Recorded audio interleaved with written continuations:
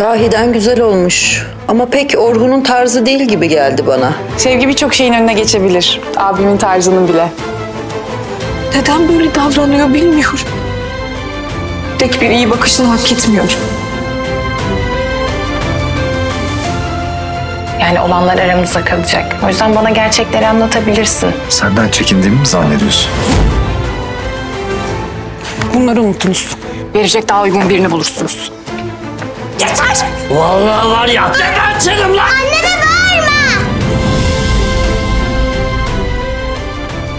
Halise abla ilk kez yapıyor değil mi bunu? Bitince biraz daha alırım. Harika olmuş. Hira Hanım yaptı kurabiyeleri.